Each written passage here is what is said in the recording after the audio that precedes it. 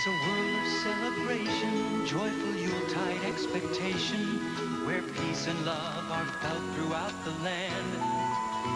It's an M&M's chocolate candy season. Moms and Santas know the reason.